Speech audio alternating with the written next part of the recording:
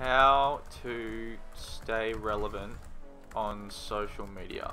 Let's see here. Pander to the masses, yell incoherently, social commentary, speak from the heart. I'm not gay. Oh, I think I've found a winner. Make sure you talk like you've just had a lobotomy and absolutely love making mistakes when on the inside you just want to. Coming in at fifth place, we have a race around the mines that more closely resembles a possum's nest with bridges and ceilings and tunnels and dirt mounds. What's that doing there? Yep, just another flip. Not really a lot I can add to that, I'm afraid, unless you've got something. The fuck do you want from me? In fourth spot, we have another clip where I didn't record early enough to have a decent build up, so it's all over in an instant, which takes away all excitement and anticipation over the flip. So here we go again. I didn't really gain a position or any time for that matter, but it was cool, right? In third position, we have a dusty old track out and whoop whoop with a few drunken geezers, and as the pack splits, I realised I took the wrong turn and took my own way off the edge, which couldn't have turned out better, I don't think.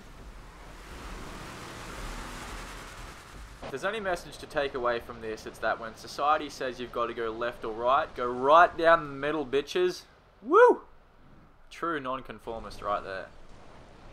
In second spot and in a random lobby with some random dudes, I found myself with some out of this world forces holding me back from reaching my full potential, which led me to get a nice little nudge there, but I swung it around and held onto it. Uh, a little bit showboaty. Probably could have straightened it out there, but you know, why not?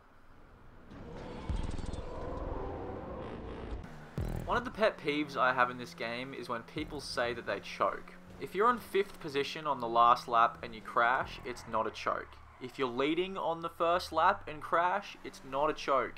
This is a choke. Come on, nearly there. Nearly. Oh! Oh! Oh! Give it a few pumps to start the lawnmower.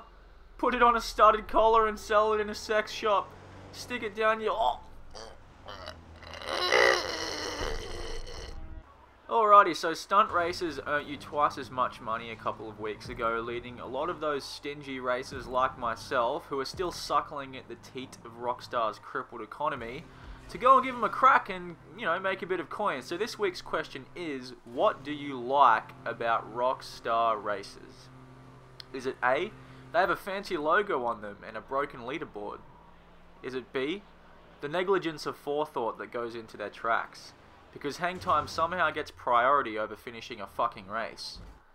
Is it C? They make you feel better about yourself, because you're always up against the lowest common denominator of the racing gene pool, and thus give you a good chance of winning. Or is it D?